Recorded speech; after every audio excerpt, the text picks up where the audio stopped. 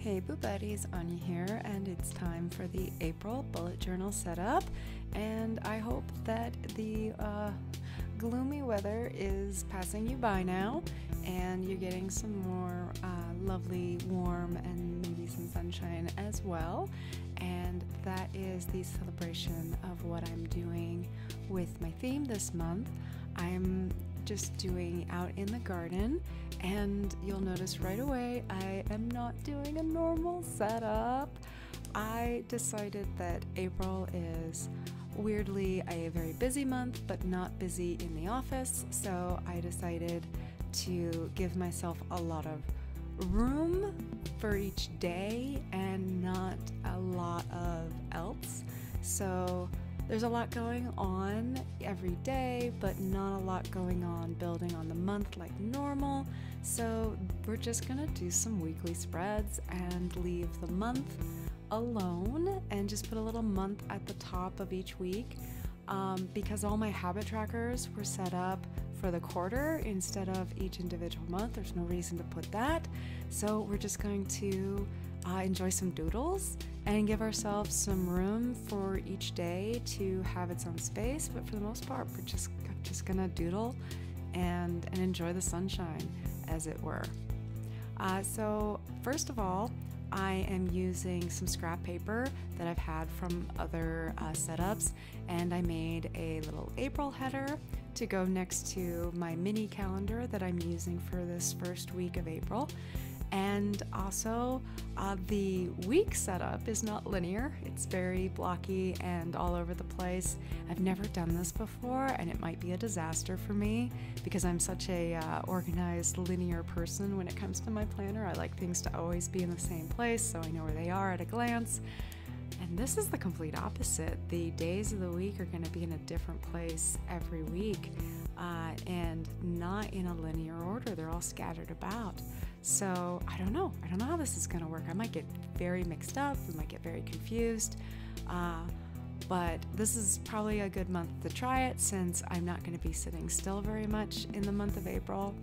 Uh, and hopefully, I'll be outside a lot, working in the yard and, and cleaning up the garden, uh, which is what I've got Boo and Cat doing in my doodles, if you will see.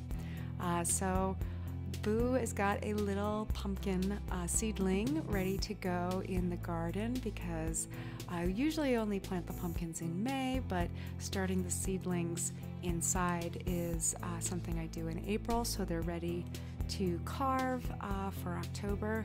They need lots of time to grow, and also we need extras so that we can have lots of uh, pumpkin uh, food in the house as well. So, yeah, so we need to get those seedlings started. Uh, cat is not being helpful. They're uh, they're just licking themselves over in the corner uh, as I finish up figuring out where to put all the days of the week. I'm using my Tombow brush pen markers, which are what I usually use with my bullet journal, and I'm using a lot of the colors that I normally use with my setups. These are a lot of the same colors I, I always use, but I'm using them differently than I normally do. Like, you know, coloring the background with markers is not a unique idea, but I don't usually do it like this, and it came out really fun. So this is a way more colorful spread uh, and setup than than I normally do with my gloomy, ghosty bullet journal style and I'm not hating it. I'm not hating it at all. I think that because of the days being scattered about like this, and it kind of came out like a like a comic book panel idea with all of the flow and scattered about order in the chaos of storytelling, uh, which is you know just the day of the week, uh, and I think it's kind of fun. So I tried to make my doodles uh, with Boo and Cat outside kind of tell a story without trying to make a a plot uh, device story, but uh, just just some pretty things that you can make some sense of, which is totally my style when it comes to Boo and Cat hanging out.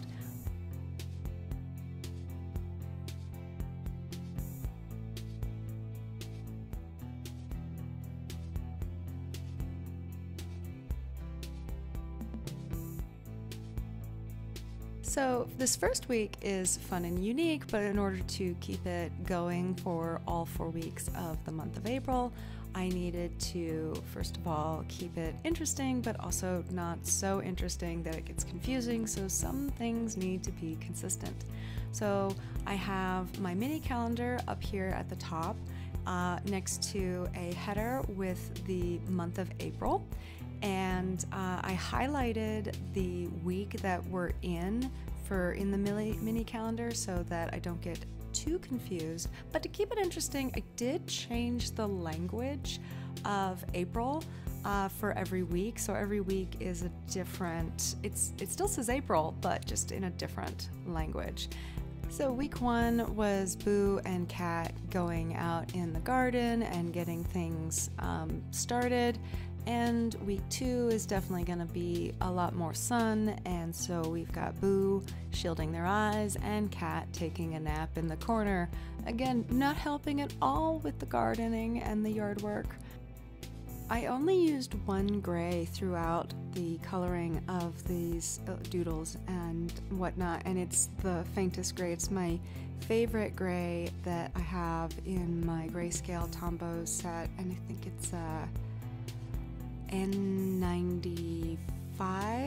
It's all worn off. I have to look it up, and I will link all of the supplies I used in the description, of course, uh, with all the Tombow number colors that I have. But if you've seen any of my videos, uh, it's the same colors that I always use. So I use the same gray uh, to shade Boo because Boo's outside, and I normally use the blue to do blue, blue shading, but I used that for the sky, so I couldn't do it for the shading. Um, it's the same one I'm using to color in the watering can. It's the same one I use for cat. I normally do cat in colored pencil, but I just just couldn't be bothered, and and this time I just went with it and did cat in marker all the way. Uh, but yeah, it's the only gray that gets used uh, in all of this, and I have two greens one blue and one brown and that's it that's all. Uh, and the yellow that I used for highlighting certain things but those are the only colors I used.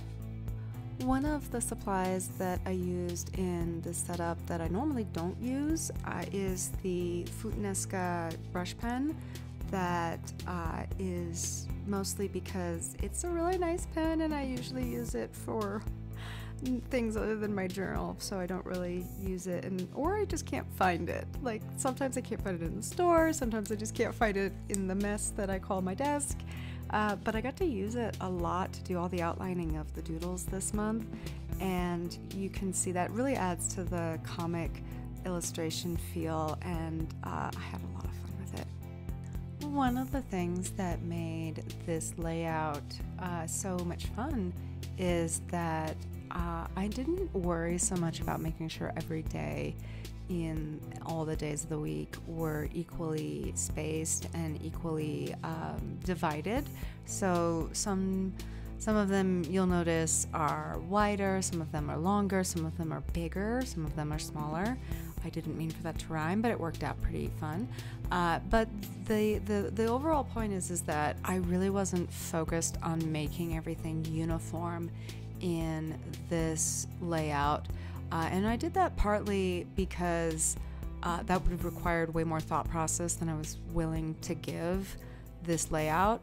Uh, but the other thing about that is, is also because of the fact that I chose to do this layout.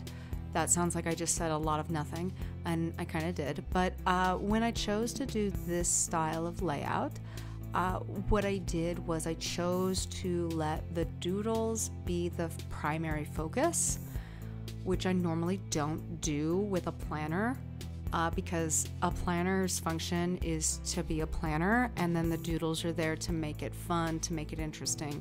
But in this month, uh, the primary focus is the illustrations, is the doodles uh, and the planner was secondary. So that's also why you see me uh, doing each layout where normally you don't see that. Uh, where normally I, I kind of try and make the video more interesting so that you just see like the highlights of yes I drew this and yes it was fun and yes it went in uh, but with this specific uh, you get to see the whole process because uh, the doodles and the illustrations of this of this spread of this layout is uh, is the primary, and uh, I had to do them first, and I had to plan them first, and I had to uh, execute them first, and then filling in everything else came secondary, and so the support was the days of the week, which isn't what I normally do and isn't what I normally recommend with planners. But April is going to be a wild month, to say the least. I don't know what to expect. I don't know uh, if it's good or bad. I think it's just going to be busy. I don't think that's necessarily bad. I think it's just going to be a lot. So, uh, this was the month to play. This was the month to try. Uh, and I normally am very strict about how I do my planners and how uh, I I do how what I put where. Uh, and the reason for that is is definitely because uh, I use a planner to be a planner, and the fact that it's fun is great, but I need it to function first. Uh, and my this bullet journal is about done.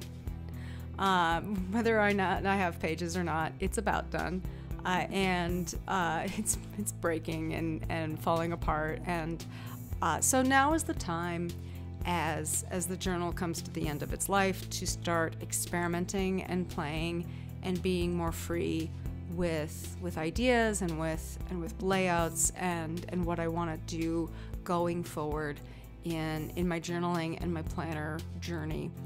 Uh, so this was this was part experiment, this was part joy, this was part fun, this was part just kicking all the rules to the curb and seeing what sticks and seeing what I want to do and maybe just confirming that the way I've been doing it is the way I want to continue doing it. So, yeah. Okay, it's time for the fourth and final week in the April setup. And I already know that when this week finally comes around, I'm just going to be wiped, I'm going to be exhausted, I'm going to be ready for some chill time. And honestly, watching Boo in the garden for these doodles. I know I made them, but they still wore me out just thinking about the hard yard work and digging out in the garden and all that. Uh, so I'm ready for Boo and Cat to uh, just be chilling and kind of give some some stargazing, uh, summer night sky, early uh, late spring, early summer vibes going on. So they'll be over here hanging out together, maybe looking at some fireworks, maybe looking at the stars. We don't know. Uh, they could be looking at any of those things.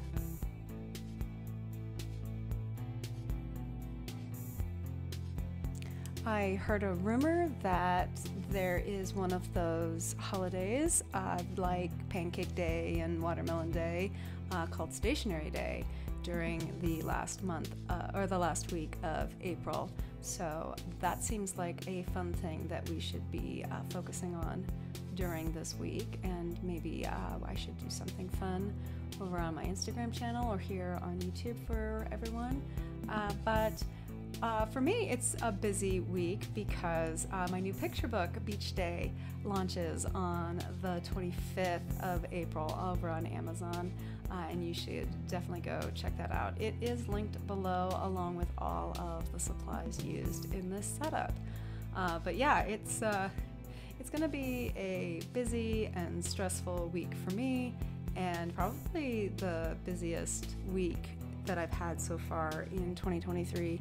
Uh, but it's really exciting, and uh, and I'm really I'm really excited. I'm just so excited, and uh, but I need those chill vibes because I also know I'm going to I'm going to be stressed and busy the whole time.